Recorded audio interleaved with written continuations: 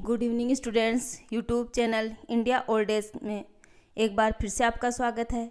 आज हम इस वीडियो में कार्नवालिस कोड या फिर कार्नवालिस संहिता के बारे में पढ़ाएँगे।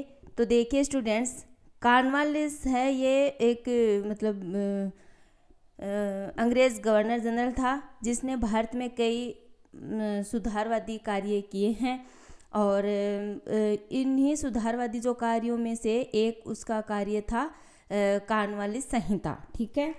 तो देखिएगा कानवालिस ने जो प्रशासकीय न्यायिक पुलिस राजस्व इन सब के संबंध में सुधार किए थे और इन्हें कार्यान्वित करने के लिए उसने नियमों की एक संहिता भी तैयार करवाई थी। उसे ही कार्नवालिस कोड कहा जाता था। ठीक है तो कार्नवालिस कोड किसे कहा जाता था?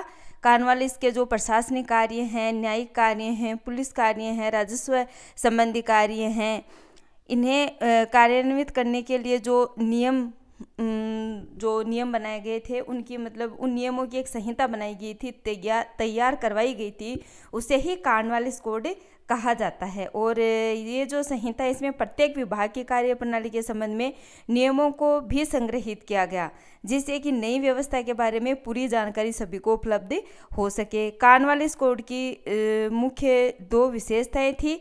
वो क्या थी? निजामत अदालतों में अंग्रेज़ न्यायाधीशों की नियुक्ति और एक था न्याय व्यवस्था को प्रशासन से अलग करना।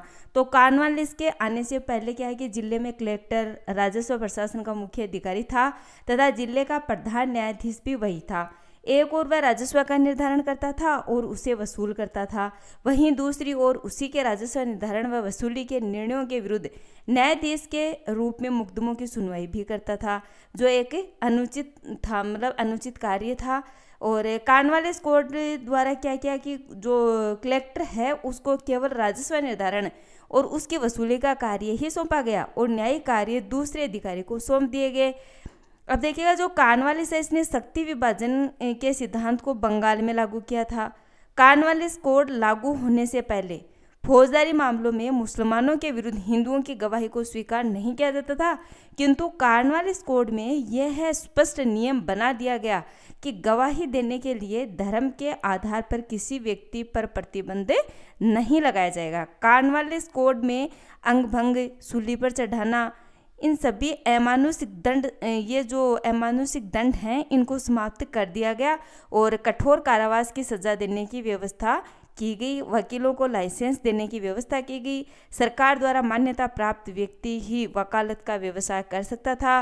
वकीलों की फ़ीस भी निश्चित कर दी गई। यदि कोई वकील निर्धारित फ़ीस से अधिक फ़ीस लेता था तो उसे वकालत के लिए अयोग्य घोषित किया जा सकता था। कार्नवालिस कोड में यह भी व्यवस्था की गई थी कि यदि कंपनी के अधिकारी गैर कानूनी कार्य करें तो उन पर भी मुकदमा चलाया जा सकता था। किंतु ऐसे मामलों में जाँच पड़ताल केवल वे ही अंग्रेज़ जज कर सकते थे, जो सरकार से प्रत्यक्ष मतलब आर्थिक लाभ आर्थिक लाभ प्राप्त न करते हों। ठीक है? तो मतलब जो कार्नवाल कोड है, एक तरह से देखें तो एक संहिता थी और एक व्यवस्था थी जिसमें मतलब सभी के लिए नियम बनाए गए थे। ठीक है? तो इसी कार्नवालिस कोड के बारे में हम आपको मतलब इस वीडियो में पढ़ाएँगे।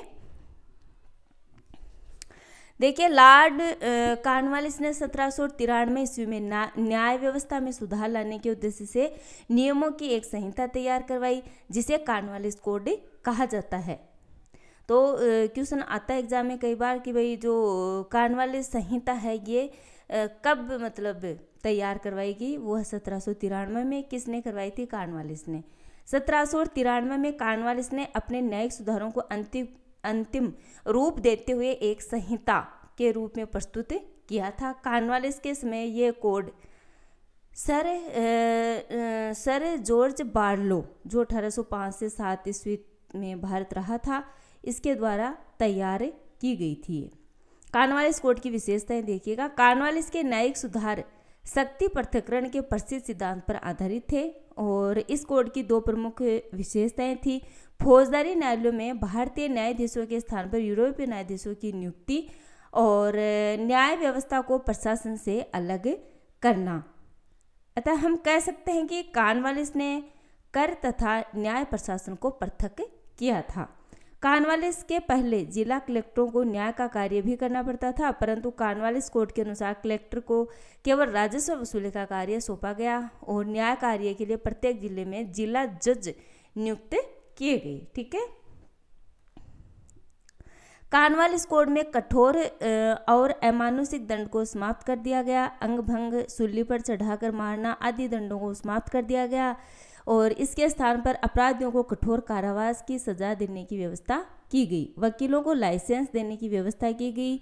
सरकार द्वारा वकीलों के लिए फ़ीस निर्धारित कर दी गई। इस नियम का उल्लंघन करने वालों को अयोग्य घोषित करने की व्यवस्था की गई। कार्नवालिस ने न्यायालय के अधिकारियों के वेतन बढ़ा दिए, कंपनी के कर्मचारियों और अधिकारियों पर अनुचित और गैर कानूनी कार्य करने पर मुकदमा चलाए जाने की भी व्यवस्था की गई। कार्नवालिस कोड उन सभी प्रशासकीय सुधारों पर आधारित था, जो लॉर्ड कार्नवालिस ने अपने शासनकाल के दौरान किए थे। ठीक है?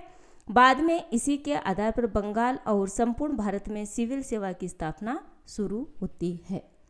निष्कर्ष रूप में कह सकते हैं कि लॉर्ड कार्नवालिस ने भारत में प्रथम बार कानून की सर्वोच्चता के सिद्धांत को स्थापित किया था।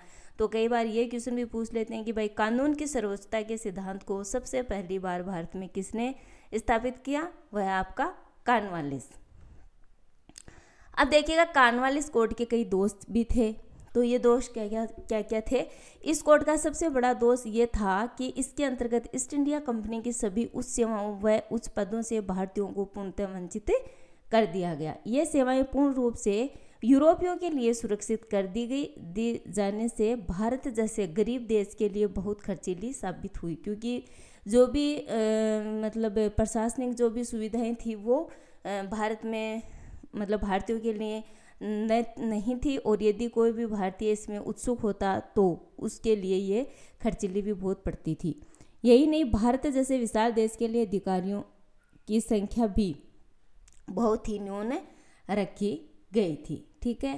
तो देखिएगा, इस वीडियो में हमने कार्नवालिस कोड के बारे में जानकारी प्राप्त की, इसके गुण दोषों के बारे में जानकारी प्राप्त की।